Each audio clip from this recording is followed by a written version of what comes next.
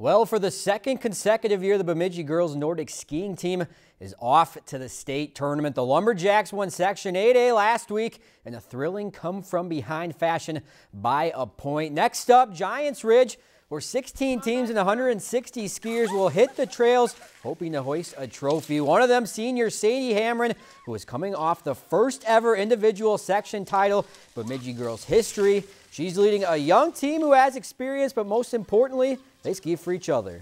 More for the team, because like, you know, I could have settled. Like second's not bad, but I don't know, having that, having the motivation of the team to do it was just so much fun. That experience really, really paid off. I mean, this team really held it together in the afternoon, stayed calm, and just skied hard. We did it as a team. It wasn't just one person that did it all, because mm -hmm. we all kind of made up ground. It wasn't just Sadie or Kinley. It was everyone. It's so wild at the state course. Everyone's like the same pace as you, and knowing that it's just kind of nerve wracking because then you just know that people are going to be with you the whole time. So here's the schedule for the state meet tomorrow at Giants Ridge.